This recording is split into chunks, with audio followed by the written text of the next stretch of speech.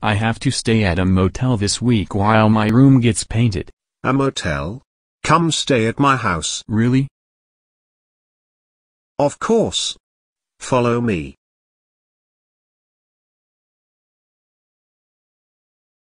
So this is the thermostat.